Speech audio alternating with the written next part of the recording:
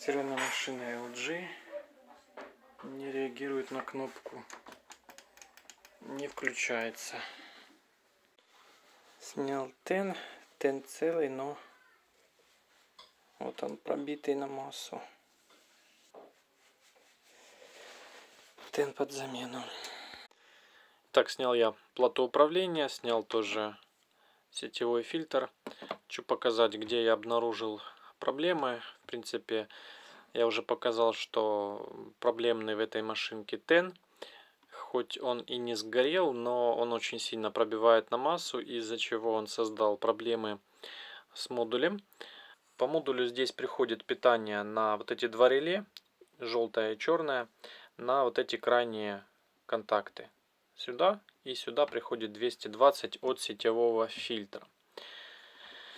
Э, с этих двух контактов идет питание анатен. И вообще можно сказать, что в стиральных машинах LG довольно распространенная проблема. Когда сгорает тен, может э, перестать работать модуль управления.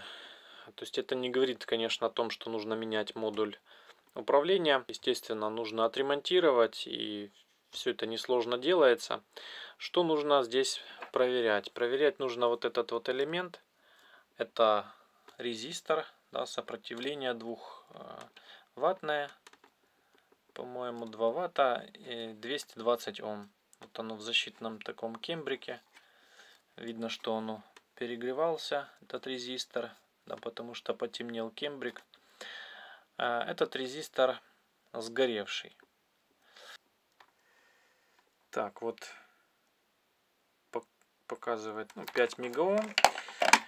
Должно показывать 220 Ом. Сопротивление сгоревшее. Также бывает, что когда тен э, сгорает или в коротком замыкании, то вот этот предохранитель на сетевом фильтре тоже нужно проверять. Бывает, что просто нужно заменить э, вот этот предохранитель. Ну, естественно, что если не устранить проблему с теном, то есть не заменить тен, то снова сгорит либо вот этот предохранитель, либо вот это сопротивление.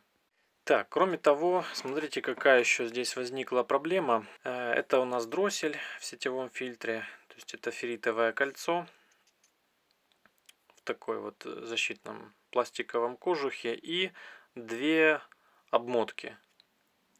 Одна и вторая таким вот медным толстым проводом. Вот, и одна обмоточка очень сильно перегрелась. Естественно, провод такой не перегорит.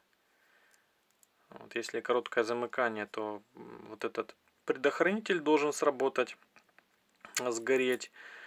Вот, но был перегрев. Из-за чего этот перегрев? Обратил я внимание, что на машинке было заземление установлено. Я поспрашивал, да, действительно, заземление у них отдельно сделано сделано вроде бы качественно.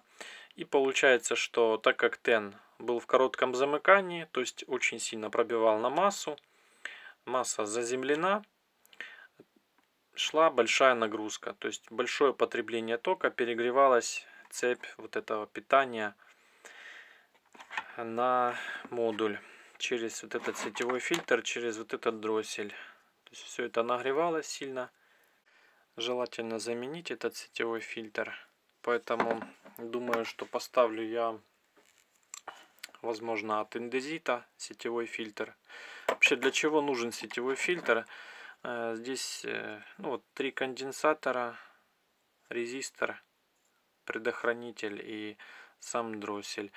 Э, Все это нужно для того, чтобы не было помех в сети от стиральной машины. Оживает по сути, машинка может работать и без сетевого фильтра. То есть, если вы его уберете, ничего не случится. Этот э, сетевой фильтр, он не защищает машинку от э, перепадов напряжения.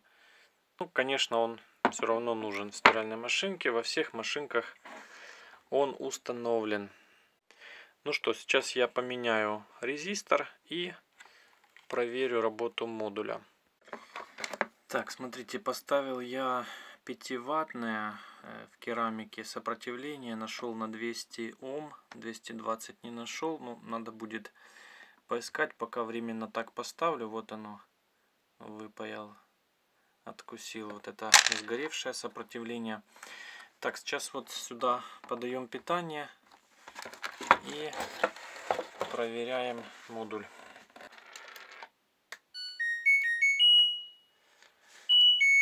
Ну вот, модуль заработал.